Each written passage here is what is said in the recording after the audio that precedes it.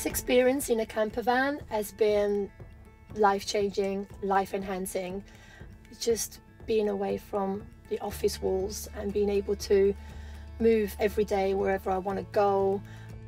It's given me the opportunity to spend more time with myself, find my truth, connecting with people, exploring new places, and feeling that real sense of freedom. My name is Francesca Del Bello, and you may know me as The Grateful. I did a bit of self analysis and I realized that I wasn't really living my my truth, my values, etc. And I just discovered through coaching and other means that that was missing in my life. You know, more travel, more adventure. So I went to Nepal and I volunteered for a couple of weeks. From there, I decided to carry on traveling in Asia. And I came back after four months and I still wasn't ready to get back to the office. So I looked at other blogs uh, of people traveling this way and I stumbled upon the Great Gappers. And I saw they mentioned Rachel and I contacted Rachel, presented myself, and then we liaised from there. Here I am now. Solo traveling's been great. I'd actually encourage more people to um, travel on their own. And I don't want to put off people doing it with friends or their partners because I'm sure that's great too. But when you travel on your own as well, it gives you that extra sense of freedom. I just go wherever I feel like going and stop whenever I feel like stopping, visit whoever I want to visit. I don't have to explain anything or ask anyone's opinion where to go next, when to stop, what to do, what to visit, and that just gives me such a great um, sense of freedom. So if a friend messaged me saying, It looks like you're nearby and I'm in Monte Carlo, do you want to come meet me for lunch? And I'm like, Of course I will come to Monte Carlo for lunch, and off I go and drive there. So for me, van life has not been about isolating myself, but it's been about socializing more, if anything.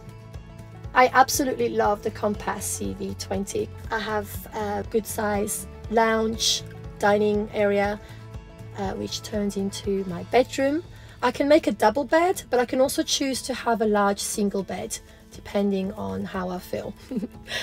At the back, I have a two bikes rack, which is awesome because I've been cycling everywhere I've been. The two doors at the back open up. Again, it's been great, especially when I have awesome views of the sea.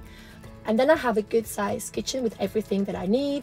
It has a microwave, it has hobs, an oven, a little extension as well where I can eat, uh, but also I use it as my office. I can put my laptop in there. Uh, the fridge is a good size. I have a good balance between eating out and cooking in a van. Um, but yes, I've been using the cooking facilities a lot. And just opposite that, I have a shower room, which also has the toilet, uh, sink, and the tap extends to become the shower head. Uh, space has not been an issue. There's a lot of storage. I knew the size of the van I was going to live in for a year. In fact, it's designed so efficiently that it works really well. I have a Wi-Fi set in the camper van and I couldn't live without it, especially with what I do and the writing and the coaching, uh, etc. So I couldn't live without the Wi-Fi. And I love the size of the van too because it allows me to drive through cities as well and find parking more easily. So this is perfect for the kind of trip that I'm doing. Um, so where have I been so far? I picked up the van from North England. I went to Scotland for a couple of weeks, then drove back down to London, and off I went to mainland Europe through Belgium just for lunch, and then drove off to Amsterdam for a party. From Holland, went to Hamburg, Germany, up to Denmark, back to Germany, visited Berlin, which was great um, Prague, then back to Germany again, being quite Central Europe. you have to cross it a few times. And then from Germany through to Austria and back down to Italy to my family for Christmas. And I've been mostly in Italy since, except that I went snowboarding in France, Chamonix, and I popped to Monte Carlo recently just to meet a friend for a couple of days. So, how many countries is that? So, why did we pick Venice? I mean, where else would you want to go? I love Venice. Venice is magical. If you've not been, go to Venice. It just feels so unreal that this city just floats on pillars. It's beautiful, uh, it's great food, great drink, and then it just feels like, yeah, it just feels like you're in kind of some sort of magical place. Venice is a great place to also get lost in the little streets, etc. It's like a walk-in museum, um, full of amazing architecture, great museums, um, art, little quirky little places to go eat, um, shops. Uh, you can buy uh, masks all year round. This time of year, the carnival is on, and it's a big tradition. I'm expecting to see a lot of people dressed up on the streets and just showing off their beautiful masks and costumes. So during the carnival season, there are a lot of uh, carnival parties where people dress up, like theme parties. Um, I'm going to one tomorrow night and I can't wait. It's going to be right on the Grand Canal at the uh, Palazzina Grassi. So I can't wait to go to that. I'm dressing up as a tiger.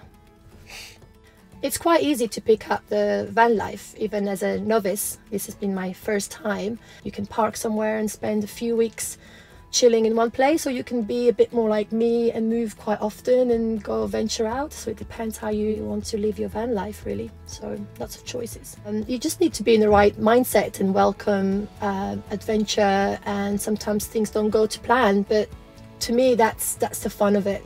Not knowing exactly how my day will pan out uh, is part of the fun.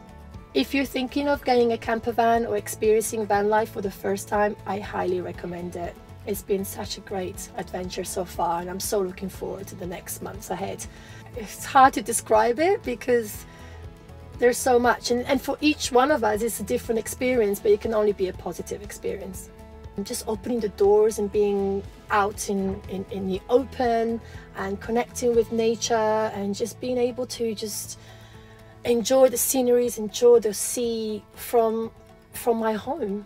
Just watching the horizon, watching the world go by is just priceless.